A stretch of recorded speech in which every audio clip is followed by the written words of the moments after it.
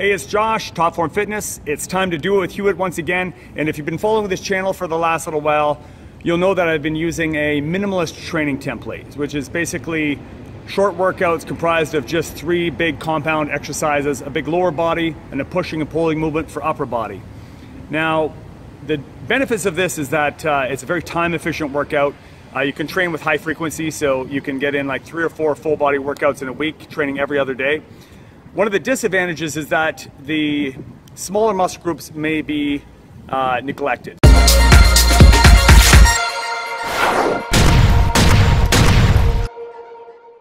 So if you have areas that tend to lag, uh, for me, deltoids, uh, I'll be doing a lot of overhead pressing, incline pressing, uh, and chest pressing, horizontal press movements, but I'm not doing any real isolation work for the medial delts or the posterior delts.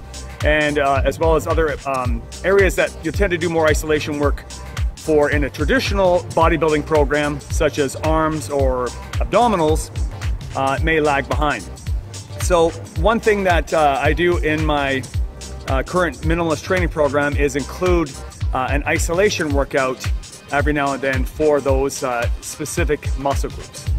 So for example, a minimalist arm workout would be comprised of simply a bicep movement supersetted with a tricep exercise. So you could use any variation of a bicep curl, such as uh, preacher curl, uh, standing barbell curls, or as I'm doing here, incline dumbbell curls. So I'm getting the full stretch position of the bicep at the bottom and I'm contracting hard at the top.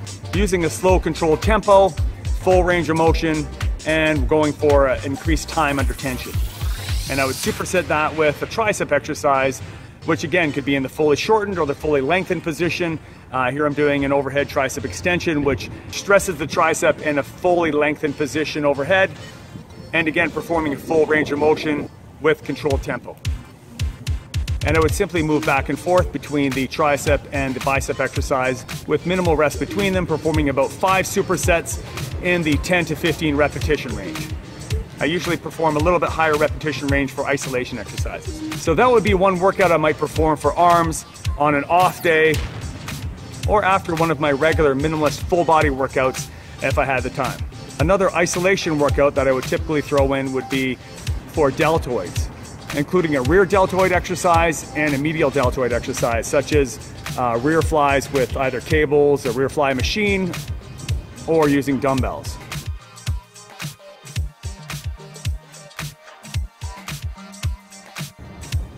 And I would superset that with a lateral raise, again, using either a machine or free weights.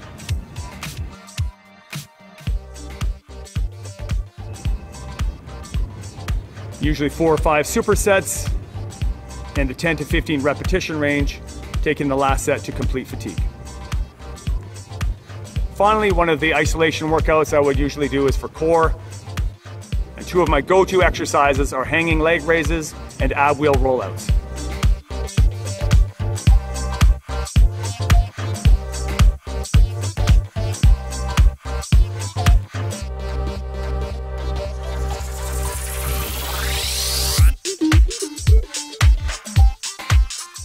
So if you've decided to give minimalist training a try, I do recommend that you include some of these very brief isolation workouts in your routine. And again, they can be performed on a day of their own and probably only take about 10, 15 minutes to throw in uh, an isolation workout for arms, shoulders, or core.